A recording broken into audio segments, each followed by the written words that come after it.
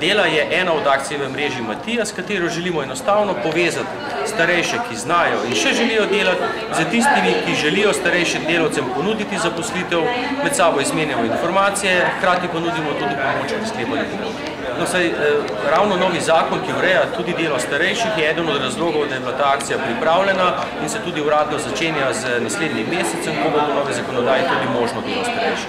No, nova zakonodaja prinaša možnost, da starejši, mislim, da do 6000 evrov letno, lahko ustvarijo tudi prihodkov za delo, brez da bi ogrozili tudi svoje prihodke, sicer še pokojnina. Eh, delo je pa ravno tako urejeno kot tudi druga pogodbena razmerja med delodajalcem in delojemalcem neposredno.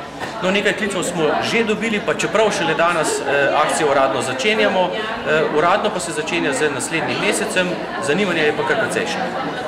No, starejši največkrat poprašujejo po informacijah, želijo si prostovoljske pomoči, pogosto tudi sami ponujejo pomoč, pogosto vprašanja so prevozi, pomoč v gospodinstvu, pomoč na vrtu in pa številna vprašanja gredo na vprašanja povezana z zdravstvenimi storitvami. Kje so specialisti, kdo so dežurni zdravniki kako zagotoviti financiranje. No, nesporno je dokazano, da tisti, ki aktivno delajo, živijo bolj zdravo in dlje. Torej je zaposlovanje starejših po eni strani ali delo starejših razlog za to, da si popravijo svoje materialno stanje. Vsej tako pomemben razlog je pa to, da ostanejo aktivni, koristni in da imajo dobro samo podobo.